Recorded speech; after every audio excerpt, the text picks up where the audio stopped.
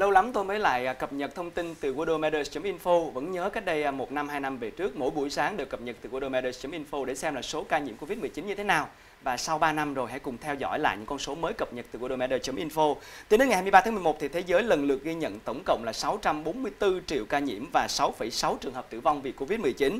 Trong 24 giờ qua thì toàn thế giới đã có thêm gần 324.000 ca nhiễm mới, trong đó châu Á vẫn đứng đầu với 238.000 ca.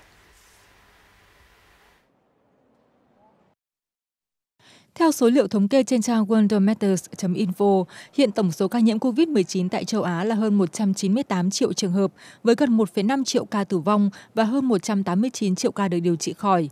Trong 24 giờ qua, châu lục này ghi nhận gần 238.000 ca nhiễm mới, trong đó Nhật Bản đứng đầu với hơn 121.000 ca, tiếp đến là Hàn Quốc và Đài Loan.